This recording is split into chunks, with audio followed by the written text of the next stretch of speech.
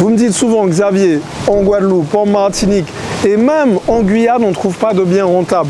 Et du coup, on ne peut pas investir, on préfère se déplacer et aller dans l'Hexagone. Donc on verra dans cette vidéo que faire. Est-ce que c'est le bon plan? Est-ce qu'il faut aller dans l'Hexagone pour pouvoir investir dans l'immobilier et faire des opérations rentables?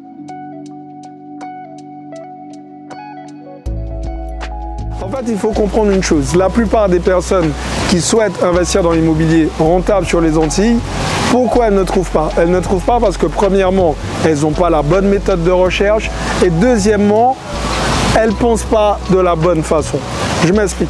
En règle générale, si vous avez un petit budget et que vous souhaitez investir dans l'immobilier, ben, n'allez pas euh, sur des gros projets. si vous allez sur de gros projets, ben, forcément, les prix vont fomber, ça va être très compliqué pour vous d'investir.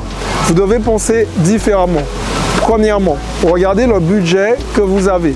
En fonction du budget que vous avez, vous devez tout simplement vous conditionner et vous positionner sur des biens qui vont rentrer dans vos critères. Alors dans les biens qui vont rentrer dans vos critères, peut-être que ces biens vont être des biens à rénover. Peut-être que ça va être des biens pour ceux qui sont en Guadeloupe, euh, qui seront situés dans la commune de Pointe-à-Pitre. Si vous êtes en Martinique, peut-être que ces biens seront à Fort-de-France. Quoi qu'il arrive, vous ne devez pas vous dire ben, je n'investis pas là parce qu'en ce moment, ce quartier, il n'est pas terrible. En tout cas, il ne correspond pas à mes attentes parce que je ne m'y vois pas y vivre. Ce que je veux vous dire par là, si vous investissez pour ceux qui sont en Guadeloupe, à Pointe-à-Pitre, pour ceux qui sont euh, en Martinique, à Fort-de-France, dites-vous qu'il y a des zones qui sont beaucoup mieux que d'autres. Et il y a des zones avec des appartements où les travaux méritent d'être refaits. Eh bien vous, ce que vous devez viser, c'est le quartier moyen en fonction de votre budget. Ensuite, vous attaquez un bien avec des travaux. Un bien avec des travaux, l'avantage c'est qu'il est plus facilement négociable. Vous allez tout simplement pouvoir acheter plus bas et par la suite, une fois que les travaux seront faits, mais ben, ça va vous laisser place à une potentielle plus-value. Ce que vous pouvez retenir aussi, quand vous investissez, pensez sur le long terme. Ne pensez pas à court terme. Il y a des travaux à faire. Vous faites les travaux, vous réfléchissez au mode de location aussi. Par exemple, si vous êtes dans une ville qui bouge beaucoup, qui a des universités non loin, ben, peut-être qu'il faut penser à la colocation. A contrario, si vous savez que la, la plage n'est pas loin ou les rivières ne sont pas loin, peut-être penser à la location saisonnière. Ne pensez pas au prix d'achat, mais pensez à comment vous allez pouvoir exploiter ce bien et combien d'argent que vous allez gagner tous les mois. Alors évidemment, ça ne veut pas dire qu'il faut acheter le bien hors prix du marché. Non, il faut acheter au bon prix. Déjà, concentrez-vous sur les biens avec des potentielles rénovations à faire. Il y a beaucoup de biens en rénovation, particulièrement sur les Antilles. Et le coût à faire finalement, il se retrouve là. Effectivement, si vous n'êtes pas à l'aise avec les travaux, mais ça risque de vous complexifier la tâche. Et c'est exactement pour ça que vous devez être formé pour tout simplement déceler une vraie opportunité. Donc la team, ce que vous devez retenir finalement de tout ça, c'est que là, il ne s'agit pas de prix élevé, il ne s'agit pas de biens rentables ou pas, puisque les biens rentables sont présents, mais il s'agit de façon de chercher les biens rentables. Vous devez penser en dehors de la boîte.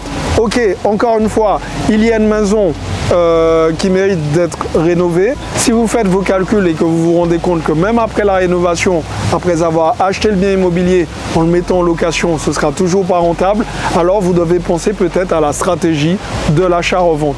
Rénovez, faites des prestations haut de gamme et revendez ce bien par la suite. Ça pourra être très intéressant et vous allez attirer un nouveau public, pourquoi pas les primo-accédants. Derrière, vous allez vous générer une plus-value et avec cette plus-value, ben, vous allez pouvoir tout simplement continuer, enchaîner les projets immobiliers et vous positionner sur un marché un peu plus haut de gamme. Grâce à ce site jour, je suis dans une démarche euh, dynamique. Il faut qu'il se passe quelque chose. je veux déterminer un plan d'action. C'est sur mesure que je vous donne. Je ne donne pas des conseils bateaux euh, qui vont pour tout le monde. Les conseils que je vous donne sont adaptés à votre situation. Là, c'est vraiment ce que je voulais, c'est-à-dire que c'est du concret. On a une problématique, on y répond tout de suite. du coup, euh, je vais pouvoir euh, avoir une vision différente de ma stratégie, pouvoir bien la définir et puis, et puis y aller, quoi.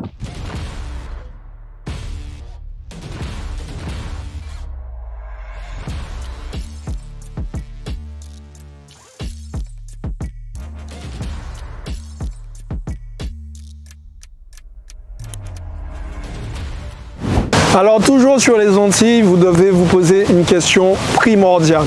C'est pourquoi? Pourquoi vous décidez d'investir dans l'immobilier? Pourquoi c'est important de se poser cette question?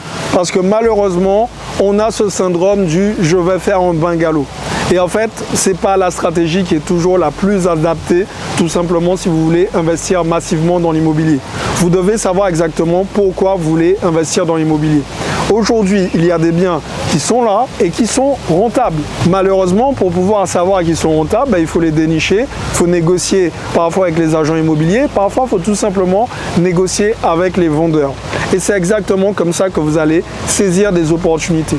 Donc la stratégie du je vais faire un bungalow et ensuite quand ça va me rapporter je vais faire un autre bungalow, vous allez tout simplement élargir le temps. Ça c'était l'ancienne stratégie.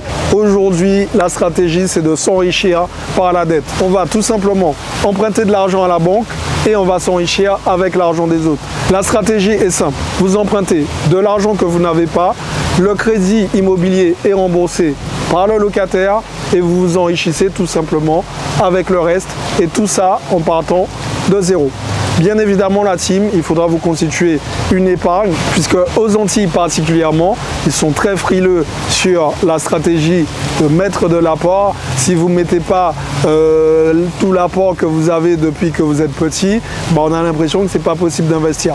Évidemment, il y a des techniques pour pouvoir détourner ça et s'en sortir au mieux. Mais quoi qu'il arrive, faites en sorte d'avoir de l'épargne de disponible. Montrez à votre banquier que vous avez de l'argent de disponible, que vous savez épargner et par la suite, la stratégie, elle sera simple. Ce sera de mettre un petit peu d'apport, mais de ne pas mettre toutes vos économies pour enchaîner les investissements.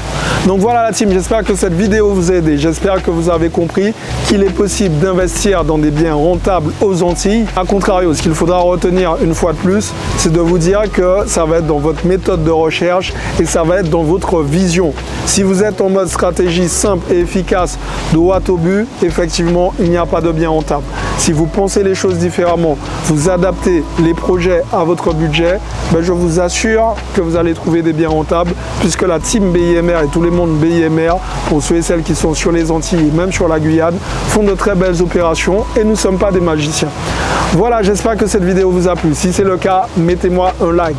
Pensez à vous abonner à la chaîne en activant la cloche.